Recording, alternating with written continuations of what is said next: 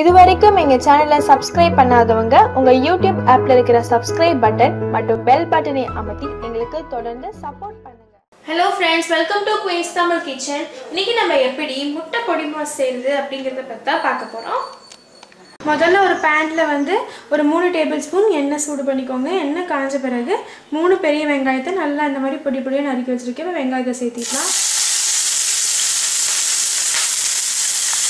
வெங்காயம் இந்த அளவுக்கு வணங்கினதுக்கு அப்புறமா ரெண்டு பச்சை மிளகாவை இந்த மாதிரி கட் பண்ணி வச்சுருக்கேன். இதையும் சேர்த்திடலாம். வெங்காயம் வந்து இனி நல்லா வந்து வணங்கி வரணும். கரம் மசாலா மஞ்சத்தூள் மிளகாத்தூள் இது மூணுமே சேர்த்து நான் முக்கால் ஸ்பூன் எடுத்துருக்கேன். நம்ம இதில் சேர்த்திடலாம். இது கூடவே வந்து தேவைக்கேற்ப உப்பும் சேர்த்திக்கலாம். சால்ட்டு சேர்த்து நல்லா வணக்கிக்கணும்.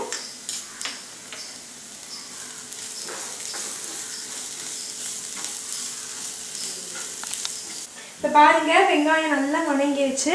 இந்த அளவு வணங்கின பிறகு நாலு முட்டையை இந்த மாதிரி நான் எடுத்து வச்சிருக்கேன். இப்போ இந்த நாலு முட்டையை இதில் சேர்த்திடலாம்.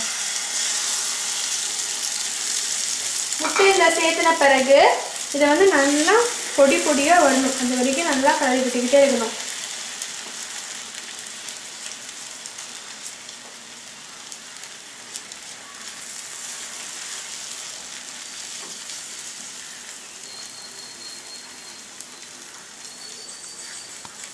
இப்போ பாருங்கள் நம்ம முட்டை பொரியல் வந்து ரெடி ஆயிடுச்சு.